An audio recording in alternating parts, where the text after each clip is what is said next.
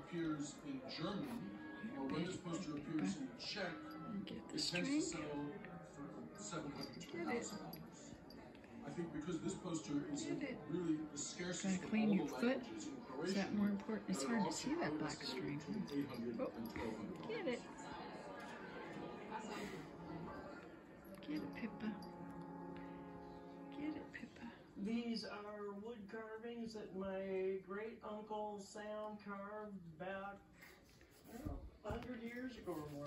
Sam These was cats. one of our typical bachelor farmers in North Dakota. Kitty He was just a wonderful guy. These carvings are just charming. And the skill set to Get accomplish these works is actually quite high.